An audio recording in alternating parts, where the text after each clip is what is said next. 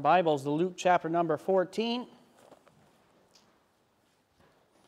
Luke chapter 14.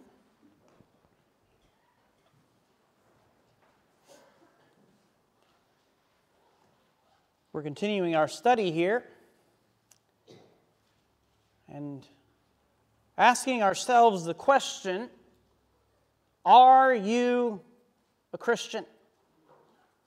Now, before you just kind of dive right in and answer, we want not just what maybe society says as a Christian, or what somebody else, a church, or anybody else has told us as a Christian. We want to see what Jesus says is a Christian. Because just because we're born in America doesn't make us Christians. America is not a Christian nation.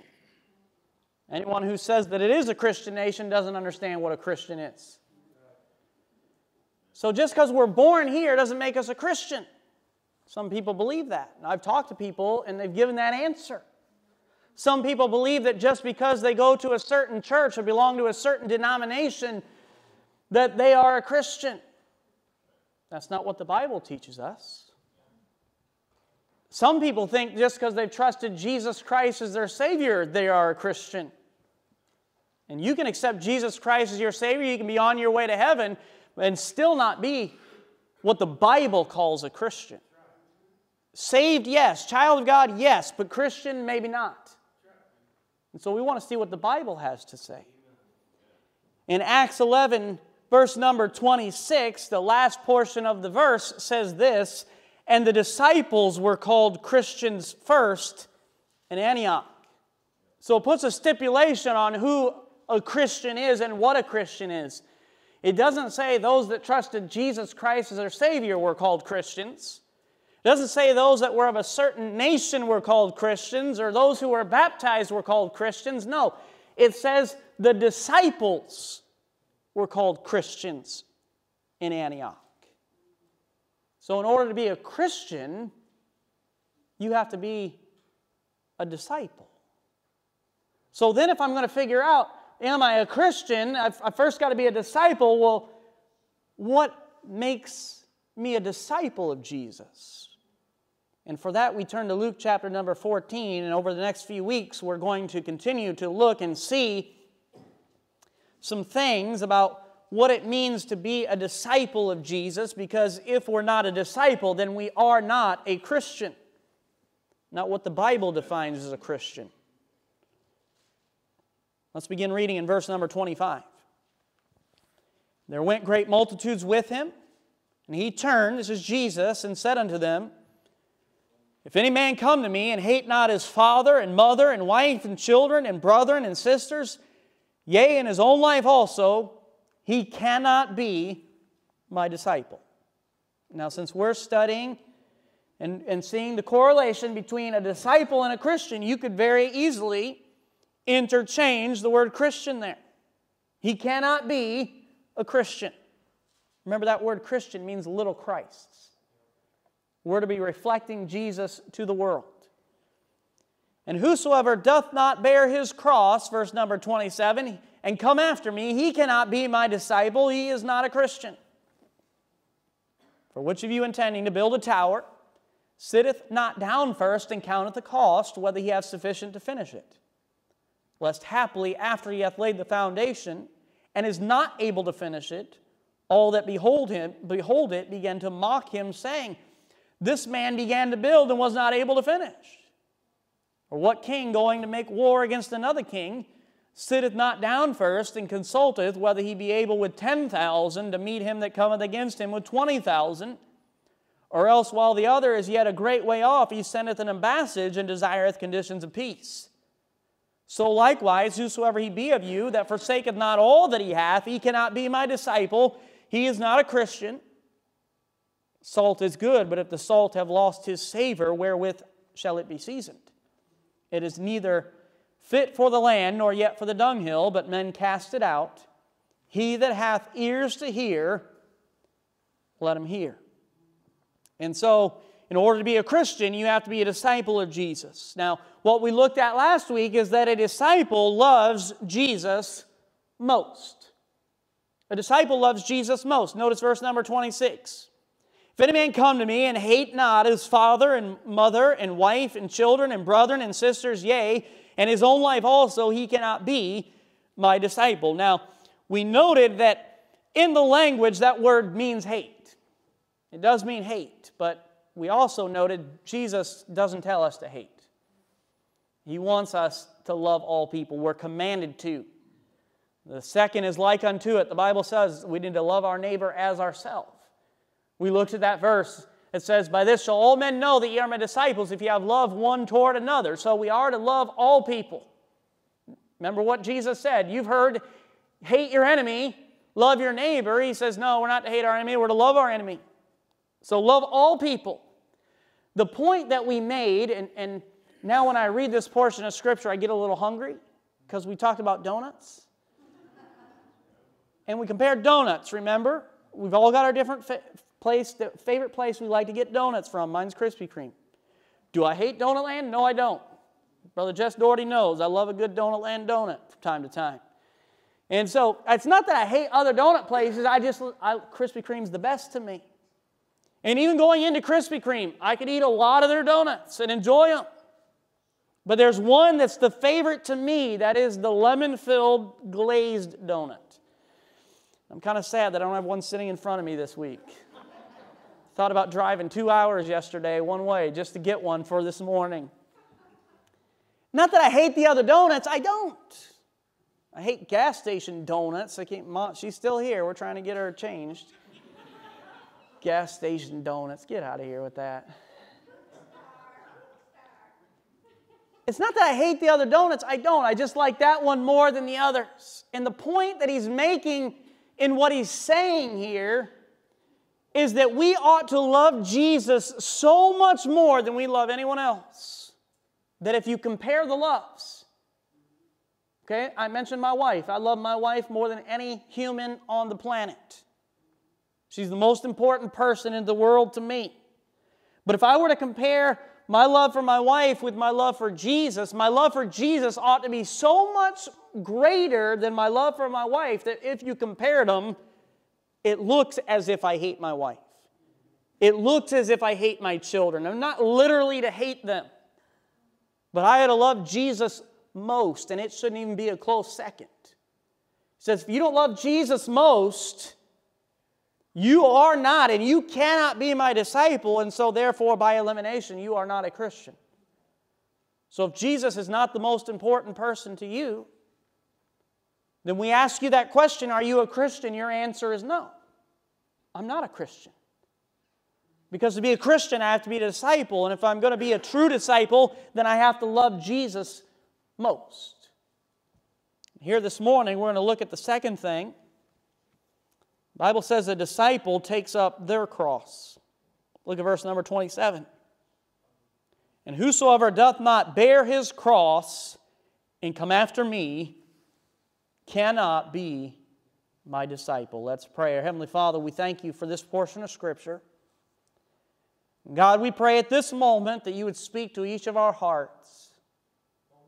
Lord, some people here might need to know Jesus Christ as their Savior.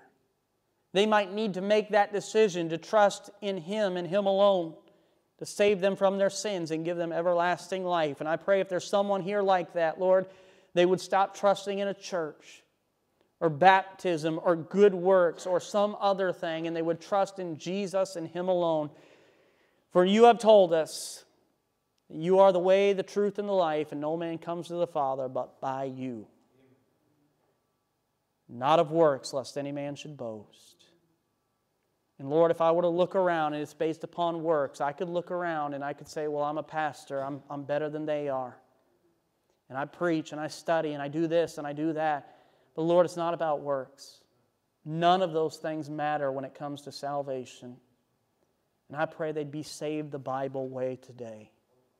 Lord, for those who are saved, who have trusted in Jesus, Lord, your desire for each and every one of us is that we would be Christians that we would be disciples who reflect your image to the world. And I pray that you would use this series and this portion of Scripture to challenge our hearts. Lord, show us where we're failing. Show us where we're reflecting ourselves and our sin to the world rather than reflecting Jesus Christ. And I pray that each of us would make a decision today that we're going to be disciples of Jesus Christ, that we are going to be Bible Christians. We ask that you would do these things. In the name of the Lord Jesus Christ, amen. So in Luke chapter number 14, as we talk about this second thing of what a disciple does, what a Christian does, they says they take up their cross. Once again, look at verse number 27. And whosoever doth not bear his cross and come after me cannot be my disciple. Now, one of the things that I want you to notice first is notice that Jesus tells us to bear our own cross, not his cross. He says, Whosoever doth not bear his, he doesn't say my cross, he says his cross, and come after me cannot be my disciple. I've heard people talk about bearing Jesus' cross and claiming what he's talking about in verse number 27 is preaching the gospel and being a witness. Yes, we are to do that, but this verse doesn't teach that. He doesn't say, Bear my cross. Jesus tells each of us, if we know Jesus Christ is our Savior, to bear our own crosses. So that means I have a cross to bear and you have a cross to bear, and there's a very, a very specific meaning to that. And so he doesn't say, Bear my cross and follow me. He tells each of us to bear your cross and follow me. Some people look at Luke chapter 14 and verse number 27 like it's Luke chapter 23 and verse number 26, and that is wrong.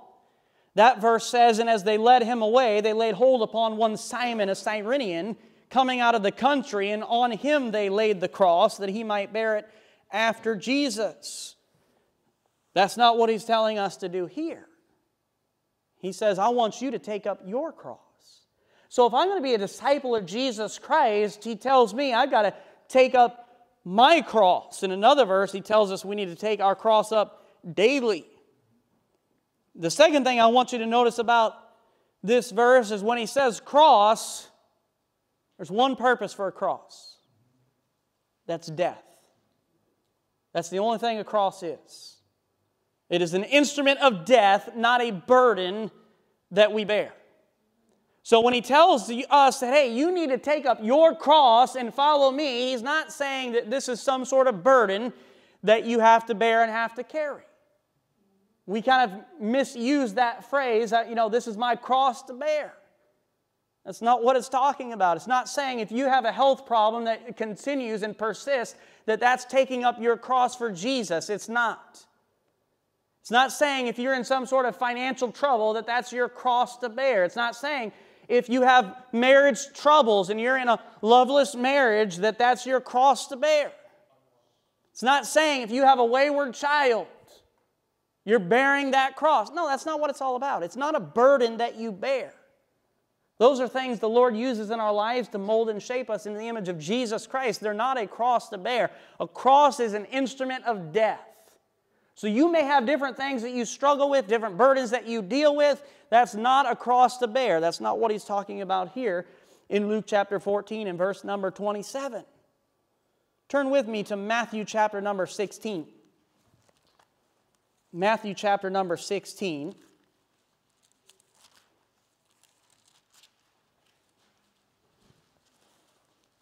Matthew chapter number 16 is most famous for Jesus asking the question in verse number 13, Who do men say that I, the Son of Man, am? And remember, they had all kinds of different answers.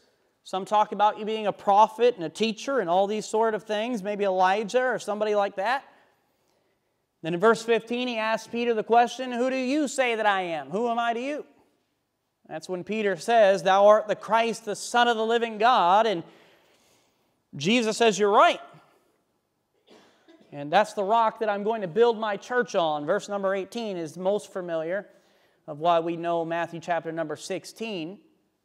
Let's look down a few verses at verse number 21. It says, From that time forth began Jesus to show unto his disciples how that he must go into Jerusalem and suffer many things of the elders and chief priests and scribes and be killed and be raised again the third day. Now, notice once again, it's to his disciples, those that were closest to him got the most information from him and about him. And the closer you were to him, the more he revealed, and that's still true. You want to know more about who God is, you draw close to him and he'll draw close to you, the Bible tells us. If you want to know God, you want to have a deep relationship with him, he will reveal himself to you. He will fellowship with you. But we have to be willing to make count the cost to walk with him closely. And so it, it, says here, he reveals that to him. He's going to be killed, be raised again the third day in verse 21. Then Peter took him and began to rebuke him, saying, Be it far from thee, Lord, this shall not be done unto thee. And boy, you see Peter's personality come out. He's just got that personality. If he says it, it's coming out. Sometimes it's a great thing. You know, you're Christ, the Son of the living God. Or, hey, Jesus, if it's really you, let me come out of the boat and walk on the water. There's times where it does some great things. Then there's some times where it really bites them in the rear end, like it does right here. Said, Lord, no. He, and he, it's not just that he says, no, it's not going to happen. He rebukes Jesus for saying that. He scolds him for it. This shall not be done unto thee, he says. And we know Peter was willing to put his own life on the line to make sure Jesus didn't die. As there in the garden, they tried to arrest him. What did he do? He drew his sword and he went to kill someone in defending Jesus. Verse 23 But he turned and said unto Peter, Get thee behind me, Satan. Thou art an offense unto me. Notice what he says here For thou savorest not the things that be of God, but those that be of men. And this is one of the reasons why you and I aren't the disciples that we're supposed to be. This is the reason right here. We're not willing to take up our cross. We're not willing to die to ourselves because we care more about the things of men, we care more about the things of this world than we care about the things of God. That's what it boils down to. Jesus said, If you love me, you're going to keep my commandments. Piggybacking off of what we talked about last week, you have to love him most. Loving him most means doing what he said to do. And in this moment, you know, Peter thinks he's doing the right thing. He's protecting Jesus, he wants to preserve his life. But that wasn't God's plan. A lot of times we care more about our own plans and what we think is best rather than what God thinks is best. God does allow hurts to come into our life to teach us some things. God does allow difficulty and death and hardship to come so that we might learn and grow and trust in Him. But see, a lot of times we care more about the things of God or more about the things of man rather than the things of God. What I care about is getting over this sickness as quickly as I can. And if I don't, then I'm blaming God. Care more about getting out of this financial hardship the quickest way that I can rather than learning to trust and depend upon Him. I care more about my sin and calling the shots of my own life rather than doing what He wants me to do. And he says, You care, you don't savor the things of God, you savor the things of men. He says that's when you're most like Satan. And rather than being a Christian, a little Christ, a lot of times, we're more like little Satans running around. Because we care more about the things of the here and now rather than things of eternity. And it doesn't take long for us to look into our lives to decide what's the most important thing to us. You look where you spend most of your time, and I'll tell you what's important to you. You look where you spend most of your money, and I will show you what's important to you. You look, and I'll look and see where we spend most of our talent that God has given to us, and we'll see what's important to us. It's one thing to say that we love God and we want to follow Him and we're a Christian. It's another thing to actually flesh it out with our lives. And a lot of times we're not Christians, even though we say that we are. We're little Satans running around. And rather than seeing Jesus in us by the way that we live our lives and what we say and what we do, they see the devil and they see our sin and they see our selfishness. Because we savor the things of the here and now rather than the things of God. And he continues on in verse 24 Then said Jesus unto his disciples, If any man will come after me, let him deny himself and take up his cross and follow me. For whosoever will save his life shall lose it, and whosoever will lose his life for my sake shall find it. For what is a man profited if he shall gain the whole world and lose his own soul? Or what shall a man give in exchange for his soul? So, just to make sure that we understand that a cross means death, he explains it to us in these verses. Now, immediately when they said when he said cross to the disciples, they knew it. They knew what a cross is for. On a regular basis, going in and out of the city, they would have watched as different criminals hung on the cross and died there. They knew what a cross was all about. If you saw someone carrying a cross, you knew one thing they're not coming back because they're going to die. Jesus wasn't telling his disciples that they were going to have to bear some burden. He was telling them to die to themselves and that he would give them life.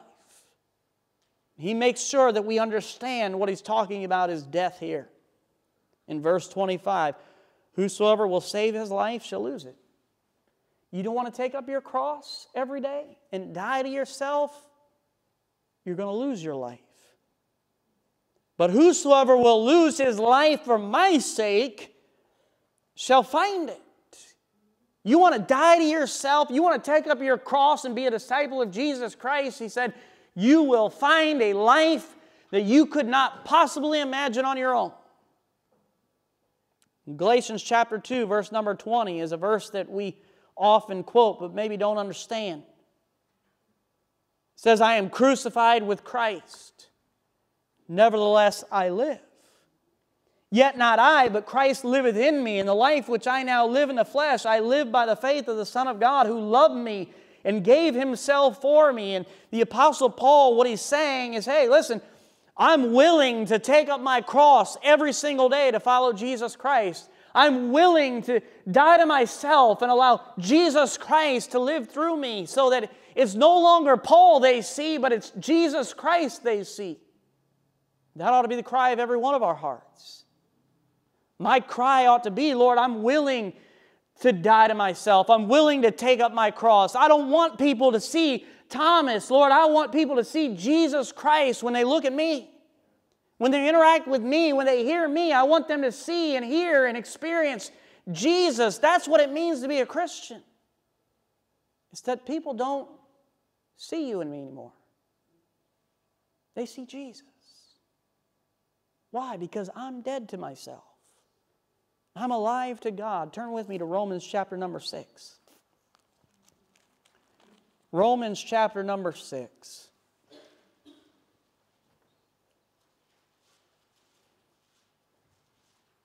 We'll look at verse number 6. It says, knowing this. Okay, so this is a sure thing. Knowing this, that our old man is crucified with him that the body of sin might be destroyed, that henceforth we should not serve sin. For he that is dead is freed from sin. Now, if we be dead with Christ, we believe that we shall also live with him. Knowing that Christ, being raised from the dead, dieth no more, death hath no more dominion over him. For in that he died, he died unto sin once, but in that he liveth, he liveth unto God. Likewise, reckon ye also yourselves to be dead indeed unto sin, but alive unto God through Jesus Christ our Lord. And then he goes on and talks about not letting sin reign over us, not yielding our members to sin, but instead yielding our members as instruments of righteousness. He says you need to die to sin and die to self. That that sin should no longer have a place and a hold in our lives. People should no longer see me living in sin and wickedness and filth. Those things are done away with. we spent some time last year looking at those sins that we ought to put to death in our lives. Those things are dead, they're gone. And people should not see that as a part of my life anymore. Those things are dead, he says, and then we're alive unto God through Jesus Christ our Lord. See, the, we, need, we need to get to the other side of the coin. Because a lot of times we want to talk about dead to sin, dead to sin, put away sin, put away sin. But we need to, ha- we need to deal with the other side as well. I'm alive to God. And I love how Paul puts it as he's talking about these different sins that we get away with. Put away lying and speak truth with your neighbor. And he, he deals with the sin that needs to be put to death. And he says, But you need to be alive to truth. You need to be alive to righteousness. You need to be alive to kindness, alive to forgiveness. What we're allowing is we're allowing Jesus Christ to live through us. That I'm dead. And people no longer should see me, they should see Jesus. Going back to what that word Christian means, little Christ. No longer should they see you, they should see Jesus. Think about this song that Miss Paulette sings from time to time. I, I almost called her this morning and asked her to sing it. I know she would have, but it would not have been fair of me to put her on the spot at such short notice the song by Joy Williams that says, Do they see Jesus in me? It says, Is the face that I see in the mirror the one I want others to see? Do I show in the way that I walk in my life the love that you've given to me? My heart's desire is to be like you, and all that I do, all I am. Do they see Jesus in me? Do they recognize your face? Do I communicate your love and your grace? Do I reflect who you are in the way I choose to be? Do they see Jesus in me? Second verse says, It's amazing that you'd ever use me, but use me the way you will. Help me to hold out a heart of compassionate grace, a heart that your spirit fills. May I show forgiveness and mercy the same way you've shown it to me. Now, I want to show all the world who you are, the reason I live and breathe. So you'll be the one that they see when they see me. Do they see Jesus in me? Do they recognize your face? Do I communicate your love and your grace? Do I reflect who you are and the way I choose to be? Do they see Jesus in me? I ask you the question are you a Christian? Do you love Jesus more than you love anyone else? The answer to that question is, is no, then you are not a Christian because you are not his disciple. Have you taken up your cross to follow Jesus? Have you died to yourself? I'm no longer about what I want to do, what I think is right It's all about Jesus Christ now. I'm dead to myself. I'm alive to God, and I want to reflect Jesus Christ to the world. So they no longer see me, they see the Lord Jesus Christ. If you have not died to yourself, then you are not a Christian. If you are not alive to God, then you are not a Christian. It says you need to take up your cross and Follow Jesus, verse 27 of Luke chapter number 14. And whosoever doth not bear his cross and come after me cannot be my disciple. He says, You've got to die, die to yourself and you've got to learn to follow me. And as we follow Jesus, it's then that He changes and transforms and conforms us to the person that He wants us to be we have to die to ourselves. Are you a Christian? You need to take up your cross and follow Jesus today.